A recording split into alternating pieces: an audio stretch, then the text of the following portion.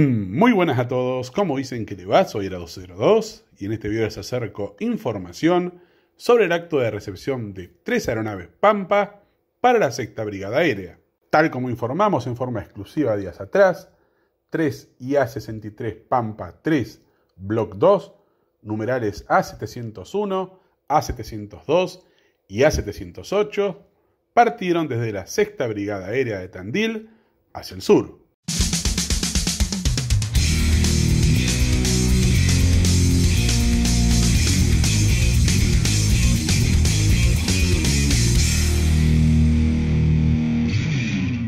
Y el día de hoy, la Fuerza Aérea Argentina llevó a cabo la ceremonia de reposicionamiento del sistema de armas IA-63 Pampa en la base aérea militar de Río Gallego. La misma fue encabezada por la gobernadora de la provincia, el ministro de Defensa y el jefe de la Fuerza Aérea Argentina.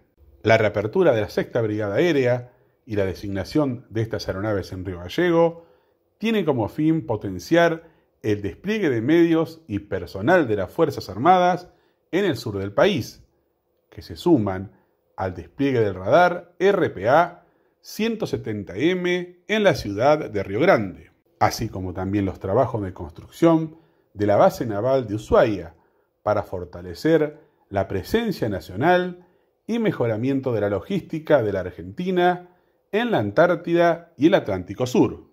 Todo esto sería acompañado con el traslado también de alas rotativas de la Fuerza Aérea que brindarían servicio de búsqueda y salvamento de ser requerido. Y bueno gente, este es el video de hoy. Un ladrillo más.